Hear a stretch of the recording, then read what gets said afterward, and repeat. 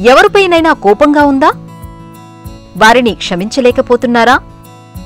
క్షమాగుణం రావాలంటే మన ఆలోచనలో ఎలాంటి మార్పు రావాలి? మనల్ని బాధించిన వారి పట్ల ఎలా ప్రవర్తించాలి? ఈ రోజు మధ్యాహ్నం రెండు గంటల ముప్పై నిమిషాలకు రాత్రి తొమ్మిది గంటల ముప్పై నిమిషాలకు తిరిగి ఉదయం పది గంటలకు. మా ఆఫీస్లో నా కొలీగ్ నాకు పని రాదని ప్రచారం చేస్తున్నాడు. అతనికి ఎలా బుద్ధి చెప్పాలి?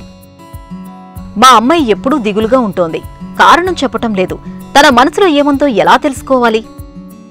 మా నాన్న తన స్నేహితులు చనిపోవటంతో నిరాశగా ఆందోళనగా ఉంటున్నారు. నాన్నలోని నిరాశ ఆందోళనలు పోవాలంటే ఏం చేయాలి? మా వదిన నా గురించి మా వారికి చెడుగా చెబుతోంది. మా అన్నయ్య బాధపడకుండా ఈ సమస్యని ఎలా పరిష్కరించాలి?